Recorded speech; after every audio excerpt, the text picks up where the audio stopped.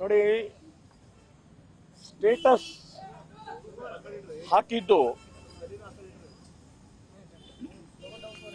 Status ಹಾಕಿದ್ದು, ಈಗ ನಾನೊಂದು ಸ್ಟೇಟಸ್ ಹಾಕಿದ್ರೆ, ಇನ್ನೊಬ್ಬನ ನನ್ನ ಫ್ರೆಂಡೋ ಅಥವಾ ಇನ್ನೊಬ್ಬನ ನನ್ನ ನಂಬರ್ ಇದ್ರೆ ಮಾತ್ರ ಆ ಸ್ಟೇಟಸ್ ಗೊತ್ತಾಗತ್ತೆ.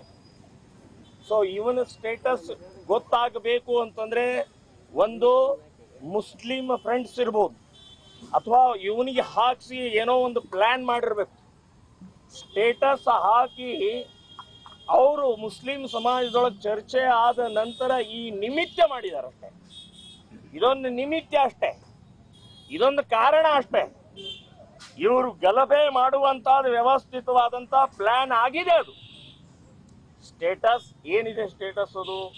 ಮಸೀದಿ ಮೇಲೆ ಭಗವಾ ಧ್ವಜ ಹಾರಿಸಿದ್ರು ಏನ್ ತಪ್ಪಾಯ್ತ್ರಿ?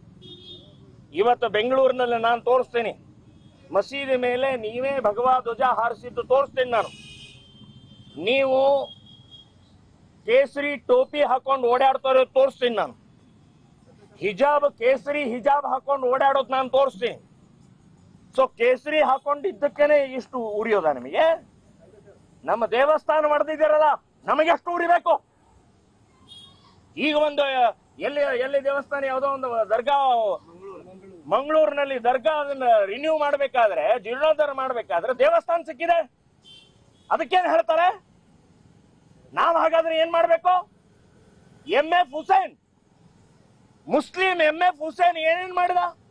ನಮ್ಮ ರಾಮನನ್ನ ಬತ್ತಲೆ ಬಿಡಿಸಿದ, ಹನುಮಂತನನ್ನ ಕೆಟ್ಟದಾಗಿ ಬಿಂಬಿಸಿದ, ಭಾರತ ಮಾತೆಯನ್ನ ನಗ್ನವಾಗಿ ಚಿತ್ರ ಮಾಡಿದ.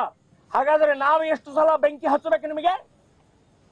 ನಾವು ಇಡೀ ದೇಶದಲ್ಲಿ ಸುಮಾರು ಎರಡು ನೂರು ಕಂಪ್ಲೇಂಟ್ ಕೊಟ್ಟಿವಿ ನಾವು. ಅದರಿಂದ ಓಡಿ ಹೋದವನು. ಸೊ ಇಲ್ಲಿ ನ್ಯಾಯಾಲಯ ಇದೆ, ಪೊಲೀಸ್ ಸ್ಟೇಷನ್ ಇದೆ, ನ್ಯಾಯ ನ್ಯಾಯ ಸಿಗುವಂತ ನ್ಯಾಯಾಧೀಶರು ಇದ್ದಾರೆ ಅದನ್ನು ಬಿಟ್ಟು ಬೆಂಕಿ ಹಸ್ತ್ರಿ ಅಫ್ಘಾನಿಸ್ತಾನ, ಪಾಕಿಸ್ತಾನ ಇದು?